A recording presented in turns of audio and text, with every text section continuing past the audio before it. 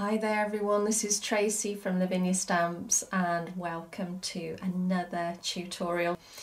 We are going to be revisiting our sticker stencils today. I've got the leaf one here, but of course you can use this technique on any sticker stencils. We've got our VersaFine Clair, we've got some Element inks, I've got my stencil brushes, a few mini stamps, multifarious card. So yeah, so let's get started. Um, we have got the negative side of the leaf. We've got the negative and the positive. This is the leaf here. They're both sticky and you just simply peel off the backing. Once it loses its sticky, just wash it. Okay, so just gently use a cloth, wipe the back and then it will come back. It's quite amazing. And that's what I like about it is that you can use it over and over again. So I'm going to place that down in the centre. I'm going to go around the edge, make sure that I'm pressing that down, that it's all stuck well to the card. I've got some masking paper here and I'm just going to cut a few curves, um, a few strips should I say.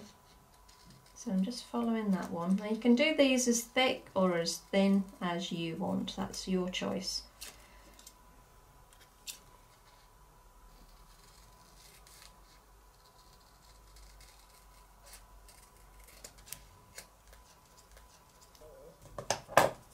And now, let's find the edge.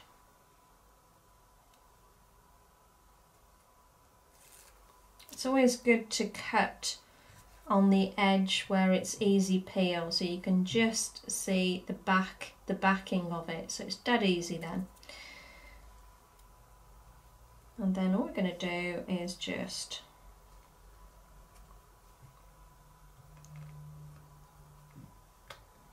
stick it down. So I'm just sectioning, sectioning off the leaf, parts of the leaf, like so. I covered that. I'm just going to tear it there. And then taking another one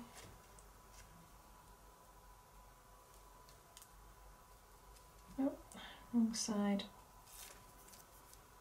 Again, I don't need all of that, so I'm just going to tear part of that off.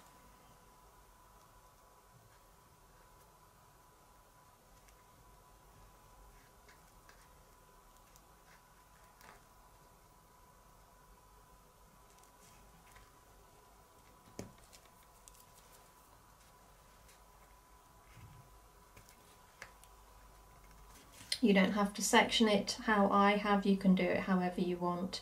You can see I've got one, two, three sections there. I'm going to fill each section with a different colour. So I've got Merlot, I've got the Sahara and I've got Pine.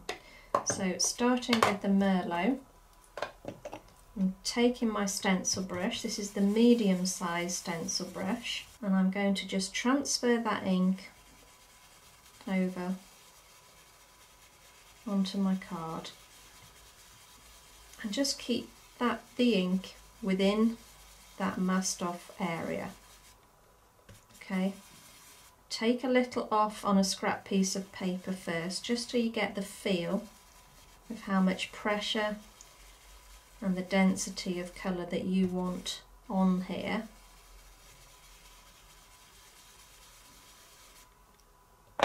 and that's fine for that area. And now we're going to move on to the Sahara. So I'm going to do exactly the same thing. Take a little off and then fill the middle area.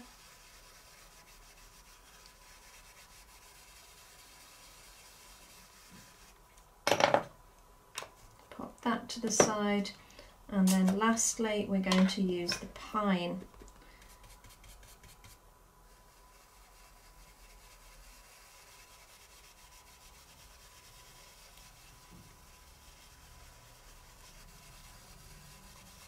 There we go.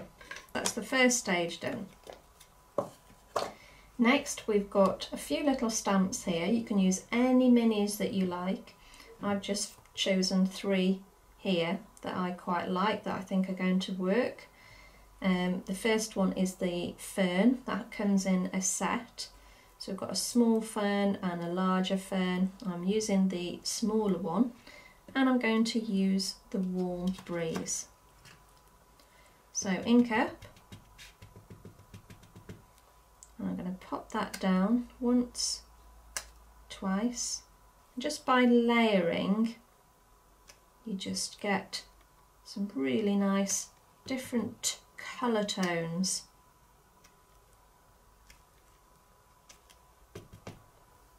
Just build that up.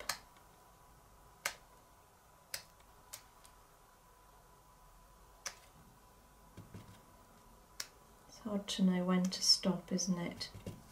So moving on to the next one. I've got a little flower sprig here. So I'm inking up this time in Shady Lane.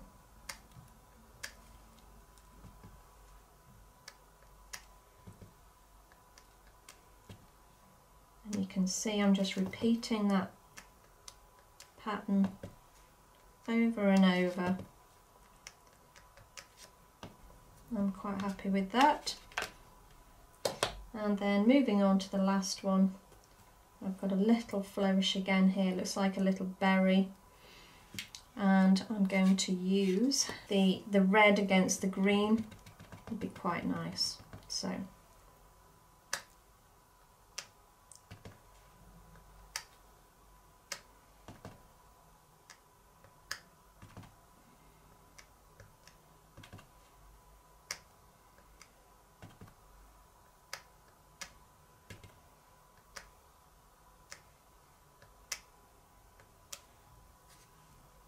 There we go.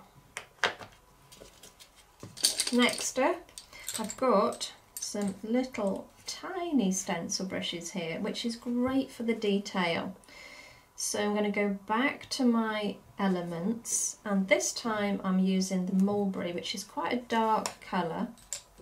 And one of my tiny stencils. This is um, number three. And I'm going to go around the edge. Just building up that density of colour.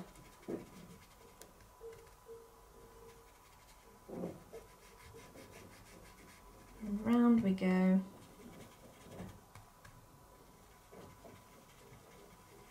All the way around.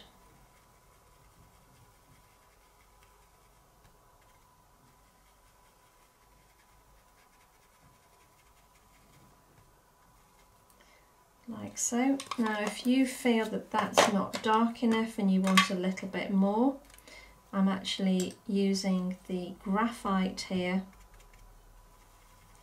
just to go on the very, very edges.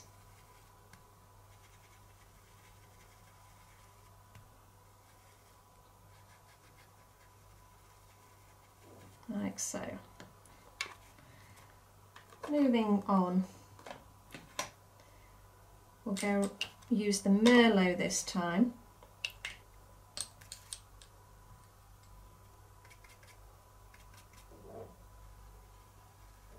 And I'm going to go around the edge. Around we go. Lovely colour. Works well against the yellow as well.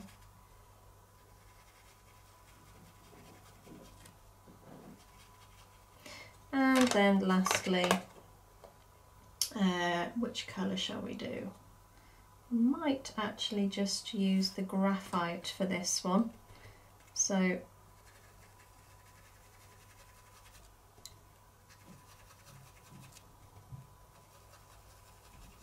around the edge. There we go. Now something else we can add as well, if we want. You don't have to, you can leave it there. Or we can use one of the metallic gilding polishes. Now I've been using a lot of these lately and they're quite addictive. This is one of our new colours. This is petrol blue. And all I'm going to do, just pop that lid, pick up a little bit of that gorgeous blue.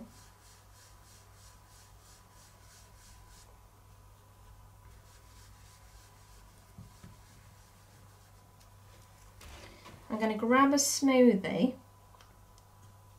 and just pick a little bit of that up.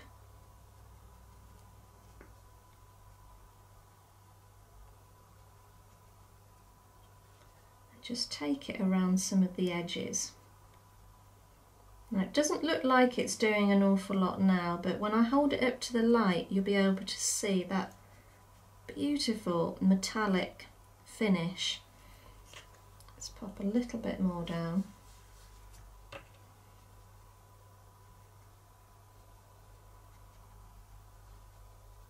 Just adds a little bit of something else, I think. Just another technique I wanted to share with you, really. With the gilding polish it's always good just to spritz with a little bit of water before popping the lid back on. And that way it will last for a long, long time. And now we can reveal what we've got. So first of all, I'm going to take up the where the masking tape was okay. Now you can see that these areas now are going to be quite white. So I'm going to grab a colour and I'm just going to go over the top just to take that starkness down. That's it. That's all I'm going to do. So now let's just take that off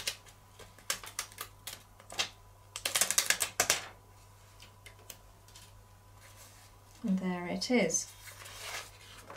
Isn't that great? Now, if I can get that right with the light, I hope I can. You can see that gorgeous blue just round some of the edges there. It just gives you an idea of what you can do with these sticker stencils. So something else we could do, um, I've got gilding glue here. Now if I take a brush and if I just paint a little along the edge there,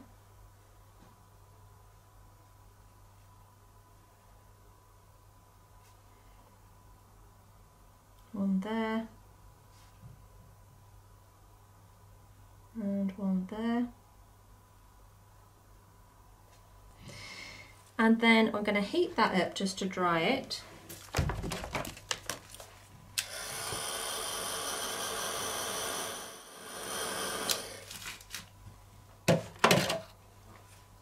Make sure that that's nice and tacky and then we'll take some of our gilding flakes. All I'm going to do is pop those along the edge where I put the glue.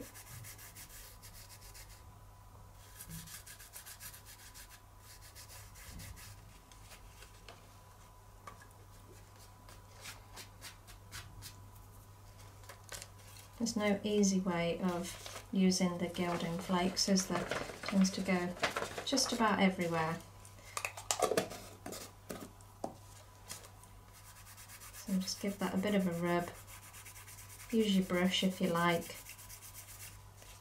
And there you have that lovely line of gilding flakes, just to give it a little bit more glimmer.